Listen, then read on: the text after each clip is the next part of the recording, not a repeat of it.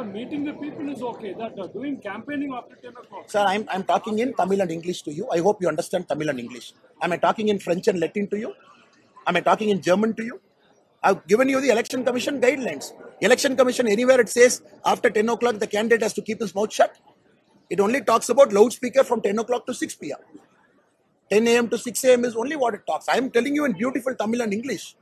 I am well within my right to switch off my microphone at 10, well within my right to complete the yatra route for the day, which is pre-approved by the police, and meet the public who has already gathered there, waiting for me. Okay, I'll go for the second second thing now. Let us imagine I'm not going there. At 10 o'clock, I say bye bye. Time is up. I'm going back home. What is the guarantee people will not create a law and order there? Of course, they'll create. They're waiting for four hours.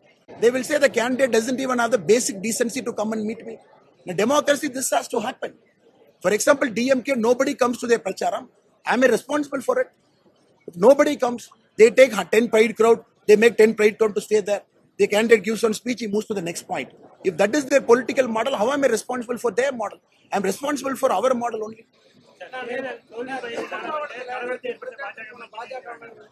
GST குறித்து கேள்வி எழுப்பி ஒரு பெண்ணை ஆபாசமா பேசி தாக்கியிருக்காங்க அந்த video viral ஆயிடுச்சு அதை பத்தி எனக்கு தெரியாதுங்கண்ணா இதே மாதிரி கோவை இதே மாதிரி மே பதினேழு இயக்கத்தில் வந்து பாஜக அண்ணா உங்களுக்கு இதே வேலைண்ணே நீங்க அப்படியே மே பதினேழு கிளம்பி வருவீங்க. டிஎம்கே பணம் கொடுத்து ஒரு ஒருத்தனா கூட்டிட்டு வருவான். நீங்க அப்படியே வந்து ஆபாசமா பேசிட்டு இருப்பீங்க. எங்க கை கட்டி அவங்க வந்து பார்த்துட்டு இருக்கணும். அதான் ஆசை உங்களுக்கு. அப்படியே காது நல்லா இருக்குவா கேளுப்பான் வாக்குவாதம் வரத்தான் செய்யும். வாக்குவாதம் வரத்தான் செய்யும். நீங்க ஒரு கருத்து வச்சா அடுத்து இன்னொருத்தர் இன்னொரு கருத்து வைப்பாங்க. கருத்தா கருத்து கருத்து பரிமாற்றம் என்பது ஜனநாயகத்துல எப்பொழுதும் இருக்கிறதா? நீ என்ன வேணாலும் பேசுவீங்க கேட்டுட்டு போகணுமா? இன்னைக்கு தோல்வி பயத்தில் திராவிட முன்னேற்ற கழகம் முதன் முதலா தமிழ்நாட்டில் அவர்கள் டெபாசிட் இழக்கக்கூடிய முதல் தொகுதி கோயம்புத்தூர். நீங்க கவுண்டிங் ஆரம்பிச்சு மூணு நாலு ரவுண்ட்லேயே தெரிஞ்சிடும் அவங்க டெபாசிட் வாங்க மாட்டாங்க. அந்த அளவுக்கு மக்களுடைய கோபத்துல ஆளாயிருக்காங்க இன்னைக்கு வந்து என்ன சொல்றாங்க? இது குத்துறா இவன் கொடைறான் எங்களுக்கு கூட்டம் வரல அவங்களுக்கு கூட்டம் வருது. இதுக்கெல்லாம் நான் எப்படி பதில் சொல்ல முடியல? டெக்னிக்கல் கேள்வி கேட்டீங்க நான் எலெக்ஷன் கமிஷன் ஹேண்ட்புக் கூட பதில் சொல்றேன். பத்து மணிக்கு மேல வேட்பாளர் வீதியில் இருக்கக்கூடாதுன்னு எந்த எலெக்ஷன் கமிஷன் கைட்லைன் சொல்லியிருக்கு?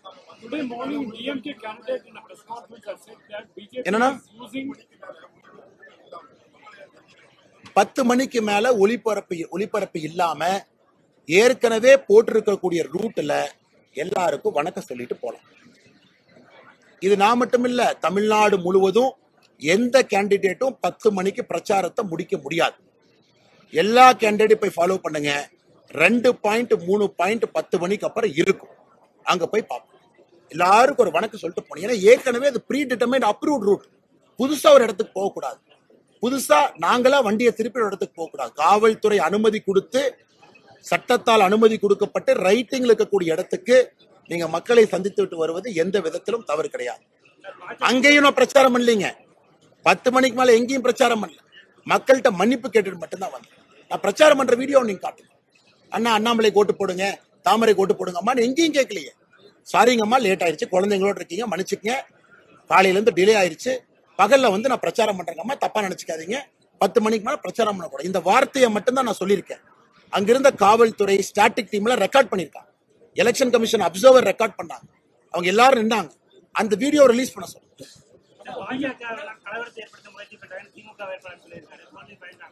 தோல்வி பயத்த பயத்தை திராவிட முன்னேற்ற கழகம் இன்னைக்கே ஒத்துக்கிட்டாங்க. ஏப்ரல் 19 வரை அவர்கள் காத்திருக்க தயாராக இல்லை.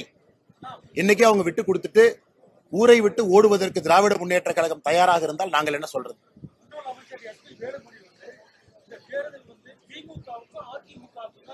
ஜூன் நாலாம் தேதி இங்க இருக்கீங்களா டிக்கெட் போட எங்கேயாச்சும் வெளியே போறீங்களா? ஜூன் நாலாம் தேதி கோயம்புத்தூர்ல இருப்பீங்களா? வெளியே போவீங்களா? குலதெய்வம் கோயிலுக்குலாம் போக மாட்டீங்க ஊருக்கு தான் இருப்பீங்க. நாலாம் தேதி ரிசல்ட் பார்த்து பேசுவோம் அந்த பதினஞ்சு வாக்குறுதி சொல்லியிருக்கீங்க இல்லையா பதினஞ்சு வாக்குறுதி சொல்லனே நூறு வாக்குறுதி சொல்லியிருக்கோம். இன்னைக்கு பொறுப்பெடுத்து நாங்க நிக்கிறோம். புது- என்ன? கேள்வி கேட்கறீங்க ஒரு மனசாட்சியோட கேட்கறீங்களாண்ணே நீங்க? ஒரு மனசாட்சியோட கேள்வி கேட்கறீங்க வாய் இருக்குன்னு நீங்க கேள்வி கேட்டா அப்புறம் வாய் இருக்குன்னு நானும் பதில் சொல்லுவேன் தப்பா போயிடும் அப்புறம் வேற மாதிரி ஆகி போயிடும் தப்பா போயிடும் வாய் இருக்குன்னு நீங்க. இதே இதே கேள்வி எல்லா வேட்பாளர்கிட்டையும் கேட்பீங்களா புதுசா மேனிஃபெஸ்டோ ரிலீஸ் பண்ணுது இன்னைக்கு பிஜேபி ரெண்டாயிரத்தி இருபத்தி நாலு. அப்ப ஏன் ரெண்டாயிரத்தி பதினாலுல செய்யல? இல்ல புல்லட் ட்ரெயின் விடுவோம். ஏன் ஆயிரத்தி தொள்ளாயிரத்தி தொண்ணூத்தி செய்யல? இன்னைக்கு என்ன சிந்தனை இருக்கு? இன்னைக்கு மக்களுக்கு என்ன தேவை? மக்கள் கோரிக்கை என்ன இருக்கு? தீர்க்கப்படாத பிரச்சனைகளுக்கு அதான அப்ப எல்லா கமிஷன் எல்லா கட்சியும் மேனிஃபெஸ்டோ ரிலீஸ் பண்ணுவாங்க. எல்லாத்தையும் கேட்கலாமே. ஏன் நீங்க ஆயிரத்தி தொள்ளாயிரத்தி அறுபதுல இதை பத்தி யோசிச்சு அப்பயே புல்லட் ட்ரெயின் விடல? கேட்கிற கேள்வி ஒரு நாய் இருக்கணும்.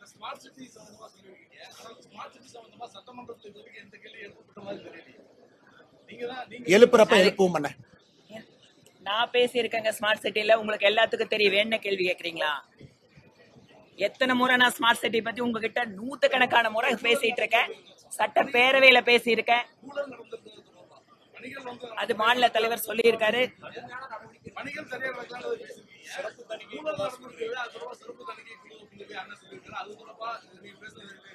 ஆனா இன்னைக்கு எங்களுடைய நிலைப்பாடு தெளிவா இருக்கு. பத்திரிகை நண்பர்கள் நீங்க கேட்கிற கேள்வியில கொஞ்சம் அறம் இருக்கான்னு பாத்துக்கேன் அறம் இருக்கான்னு நீங்க கொஞ்சம் நீங்க கேட்கிற கேள்வியில அறம்ங்கிற வார்த்தை இருக்கான்னு பாருங்க அறம் இருக்கான்னு நீங்க கேட்கிற கேள்வி அறம் இருக்கான்னு பாருங்க அண்ணாமலைக்கு ஒரு நாயும் திராவிட முன்னேற்ற கழகத்துக்கு ஒரு நாய் இருக்கக்கூடாதுங்க எல்லாத்துக்கும் ஒரே நாயம் தான் இருக்கணும். கேள்வி கொஞ்சம் அறத்தோட கேள்வி அறத்தோட கேள்வி பெட்ரோல் ரெண்டு ரூபா குறைக்கலண்ணே. பெட்ரோல் டீசல் வந்து பத்து ரூபா ஏழு ரூபா தீபாவளி குறைச்ச போன வருஷம். அது நீங்க பாக்கலையா சரி நீங்க நீ தேர்தல் வாக்குறுதியில திராவிட முன்னேற்ற கழகம் அஞ்சு ரூபா நாலு ரூபா குறைப்பேன்னு சொன்னாங்கல்ல அதை பத்தி நீங்க கேள்வி கேட்டீங்களா அது வரைக்கும்? இல்ல இது வரைக்கும் நீங்க இல்ல சிலிண்டருக்கு நூறு ரூபா குறைக்கிறேன்னு திமுக சொன்னாங்க கேட்டீங்களா அது வரைக்கும்? நீங்க கேட்ட கேள்வி நான் பார்க்கணும். இல்ல நீங்க கேட்ட கேள்வி நான் பார்க்கணும். இந்த ஜேர்னலிஸ்ட் நேத்துல நம்ம சண்டை போட்டிருக்கோம். நீங்க திராவிட முன்னேற்ற கழகத்தினுடைய வேட்பாளர்கிட்டயோ ஒரு திமுக தலைவர்கிட்ட அண்ணா நியாயமா இருங்கண்ணே சாப்பிடுற சாப்பாடுல உப்பு இருக்கணும் உங்களுக்கு எனக்கு. நியாயமா கேளுங்க. திமுக தன்னுடைய தேர்தல் வாக்குறுதி ரெண்டாயிரத்தி இருபத்தி ஒண்ணுல சொல்லியிருக்காங்க.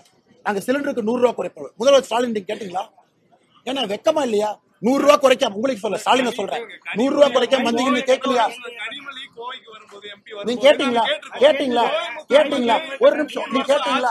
கேட்டீங்களா நீங்க? கேட்டீங்களா? சொல்லுங்க கேட்டீங்களா? ஒரு நிமிஷம். நாங்க ரெண்டு ரூபா மூணு ரூபான்னு சொல்லாதீங்க. பெட்ரோல் டீசல் விலைய ரெண்டு வருஷத்துல எவ்வளவு குறைச்சிருக்கோம் நீங்க பாருங்க. ரெண்டு வருஷத்துல எவ்வளவு குறைச்சிருக்கோம் நீங்க பாருங்க. ரெண்டு வருஷத்துல எவ்வளவு குறைச்சிருக்கோன்னு பாருங்க. தம்பி. என்ன சொல்றாங்கன்னா அறத்தோட சொல்ல நீங்க நீங்க தேர்தல் வாக்குறுதி தேர்தல் வாக்கு நான் handle பண்ணிக்கிறேன். அக்கா நான் handle பண்ணிக்கிறேன். அக்கா நான் பண்ணிக்கிறேன். தேர்தல் வாக்குறுதி ரெண்டாயிரத்தி இருபத்தி ஒண்ணுல திமுக சொல்லியிருக்காங்க. நாங்க எல்பிஜி சிலிண்டருக்கு நூறு ரூபாய் குறைப்போம். பெட்ரோல் டீசல் அஞ்சு ரூபா நாலு ரூபா குறைப்போம் சொல்லியிருக்காங்க. குறைச்சாங்களா? இல்லை. நாங்க சொல்லாம குறைச்சிருக்கோம். அது நண்பர் சொல்ற ரெண்டு ரூபா கிடையாது. நண்பர் திரும்ப கேட்டிருக்கணும்ல. அண்ணா எலெக்ஷனுக்கு மட்டும் ரெண்டு ரூபா குறைக்கல. போன தீபாவளிக்கு பத்து ரூபா ஏழு ரூபா குறைச்சாங்க. அதன் பிறகு மூன்று ரூபா குறைச்சாங்க.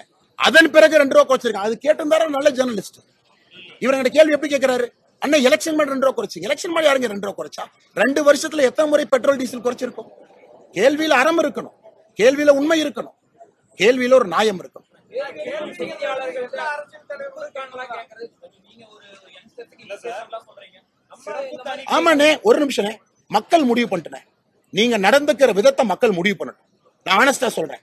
பத்திரிக்கையாளர்னா ரெண்டு கொம்பு கிடையாதுண்ணே. அதே மாதிரி அரசியல்வாதினால் ரெண்டு கொம்பு இல்ல. ஒரு நிமிஷம். மக்கள் தான் பாக்குறாங்க சார்.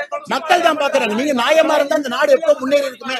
மக்கள் தானே பாத்துட்டு உங்களையும் மக்கள் பாக்குறாங்க என்னையும் மக்கள் பாக்குறாங்க பத்திரிகையில அறம் இருக்கான்னு மக்கள்கிட்ட நான் கேட்கிறேன். பத்திரிகையில அறம் இருக்கான்னு நான் கேட்கிறேன். பத்திரிகையில அறம் இருக்கான்னு கேட்கிறேன். ஒரு கம்ப்யூட்டர் இருக்கு கூகுள் இருக்கு. மத்திய அரசு எத்தனை முறை பெட்ரோல் குறைச்சா உங்களுக்கு தெரியாது? உங்களுக்கு தெரியாம மாதிரி சின்ன பாப்பாவா நீங்க? சின்ன பாப்பாவா? ரெண்டாம் கிளாஸ் படிக்கிற பாப்பாவா? பெட்ரோல் டீசல் விலையை மத்திய அரசு குறைக்கவே இல்லை.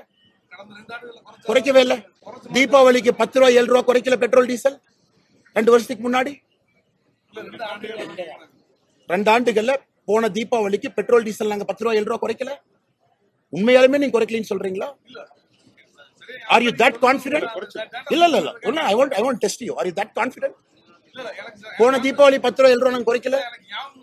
ஞாபகம் எல்லாம் ஞாபகம் இல்லைன்னு சொல்லுங்க. தெரியாத கேள்வி கேட்காதீங்க. தெரியாத கேள்வி கேட்காதீங்க. ஞாபகம் எல்லாம் தெரியாதுன்னு விட்டுருங்க மத்திய அரசுடைய மத்திய பாரதிய ஜனதா கட்சியினுடைய தேர்தல் அறிக்கைக்காக கொஞ்சம் கோஆர்டினேட் பண்ணிட்டு இருக்கோம். ஏன்னா நிறைய விஷயங்கள் இங்கிருந்து மத்திய பாரதிய ஜனதா கட்சியினுடைய தேர்தல் அறிக்கையில இடம்பெற வேண்டும் என்று நினைத்திருக்கின்றோம். அதை அனுப்பிச்சிருக்கோம். அதனால கோஆர்டினேட் பண்ணிட்டு இருக்கோங்கன்னா வந்தோடனே வேகமா சொல்றோம். பாதகம் செய்பவரை கண்டால் நாம் பயங்கொள்ளலாகாது பாப்பா. மோதி மிதித்து விடு பாப்பா. அவர் முகத்தில் உமிழ்ந்து விடு பாப்பா. அண்மை செய்திகளை உடனுக்குடன் தெரிந்து கொள்ள இணைந்திருங்கள் இயம்நாடு தொலைக்காட்சியுடன்.